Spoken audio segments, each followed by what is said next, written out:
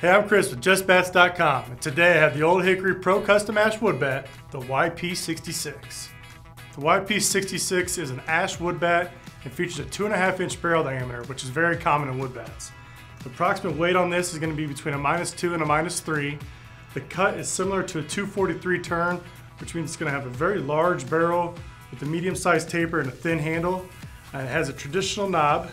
This bat is MLB approved and it comes with free shipping. And you can get this bet today at justbats.com. We'll see you there.